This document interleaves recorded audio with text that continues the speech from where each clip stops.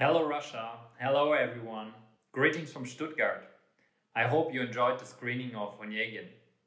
Onegin is, of course, one of my favorite ballets ever. I remember as a small boy, I watched Onegin many times, and this is the reason why I wanted to become a dancer. So, this ballet really means a lot to me.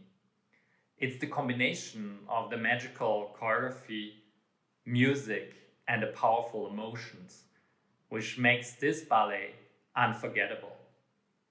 It's fulfilling on every level for the audience and the dancers alike. How I wish I could dance on Onegin right now. But as you might know, we're in a full lockdown in Germany with theaters, cinemas all closed. But it gives me hope to hear that in Russia it seems to get better. So I wish you all the best. Stay safe.